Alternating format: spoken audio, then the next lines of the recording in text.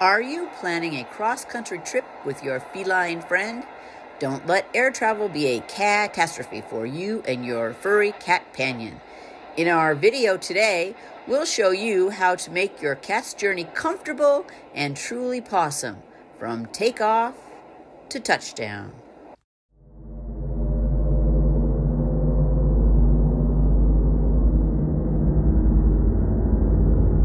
So sit back, enjoy the flight as this video takes you on a pawsome journey with your meowing mate.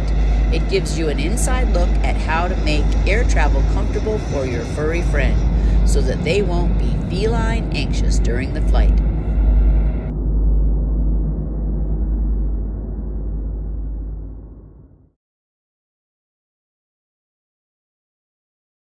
Okay, you are getting ready to go on your flight, and the very first thing you need to do is choose a cat carrier. I'll go over this in just a minute, and the next things you need to do is gather your supplies to go. So I bring two pee-pee pads. I also bring an empty water bottle and a three ounce can of cat food because you know Apparently water is explosive and so are five ounce cans of cat food. But go ahead and bring an empty water bottle. You can fill it in the airport and bring a three ounce can of emergency cat food. Bring some dry food as well and don't forget to bring a dish. Now I bring a little syringe because if the flight is delayed at all, then we can give water to the cat in the cabin. And uh, it gets very dry in cabin. And if you are delayed then the cat has a tendency to get a little bit dehydrated. So I bring a little syringe to help that out with. And then I have this lovely little cart that helps me put the cat carrier on the cart with a little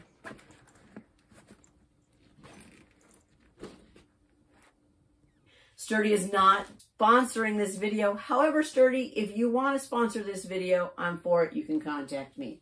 I have tried other carriers on the plane, and for me and for my cat, this one actually works really well.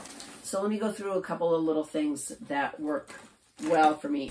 The design is a really flexible carrier although it has uh, wire, it can be broken down and put into your suitcase. It does have a nice little comfy pad inside that is completely removable and washable. It has a very solid bottom. I can use my cart actually in the airport. I can put this on a cart and I'll show you that in a little bit. There's a nice little bottom in there and that's replaceable. It has a carry handle as well as a shoulder handle. It has ventilation here. It has ventilation in the back. It has two ventilation panels on top, one of which is, can be unzipped. You do have to take your cat out at TSA. So you have to have a, uh, a zipper that is easily unzipped. Now let me show you how a cat fits in here. That's really one of the reasons that I like this. It's very roomy, especially for my big Maine Coons. Here you go.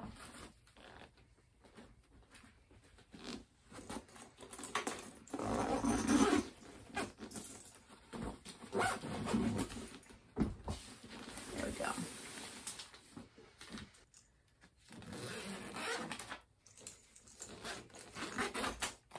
That's it. Anyone who chooses to purchase Sturdi from this video will get 10% off. As I said, I'm not getting anything from it. I just asked the company if they would give anybody who wanted um, a discount and they said yes. So go ahead and go to the link below in my video and you can get 10% off if you order a Sturdi carrier. Now, the other piece of it is that most airlines ask for a carrier that is 18 and a half by 13 and a half by 9 and Sturdi is 18 and a half by 12, which it looks bigger than that, by 11. So it goes a little bit taller. Now, it does squish down and uh, it fits under the seat on Southwest nicely. And I have to say that Southwest is a little skimpy on their seats. I like to sit in the middle because the window seat slants and the carrier doesn't fit very well. And the aisle seat, people walk by and kick my carrier. But Southwest gives you a little bit more room in the middle seat um, because it's not a desirable seat, I think. And they the carrier fits under there very, very nicely.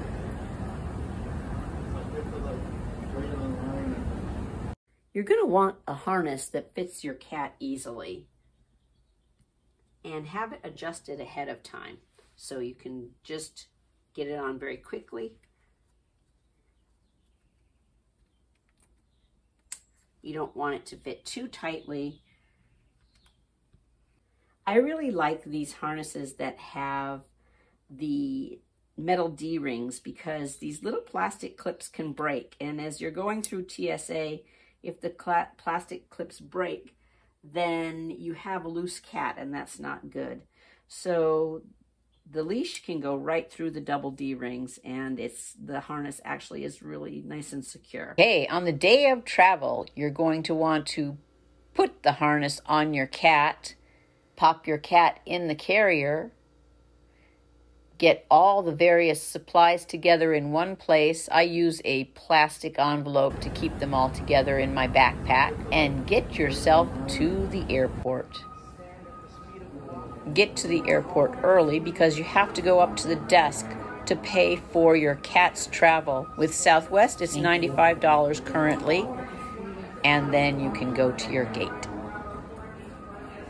Well, we've covered it all from the airport antics to in flight escapades. So let's whisker away and summarize this wild ride.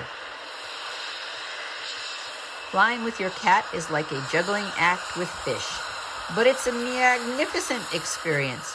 From passport checks to x ray machines, these furballs demand our attention. Brace yourself for airport security shuffle and maneuvering your curious cat through the x ray machine without any whisker related mishaps. When it's time to board the plane, be prepared for the juggling act of navigating the narrow aisle while carrying your cat in their carrier. Embrace stares from fellow passengers as you try to shove the cat carrier under the seat. So, whether you're a seasoned traveler or a brave soul embarking on your first feline flight, follow these specific steps in the video and let your love for cats soar to new heights. Once you arrive at your destination, don't forget to get your cat a treat.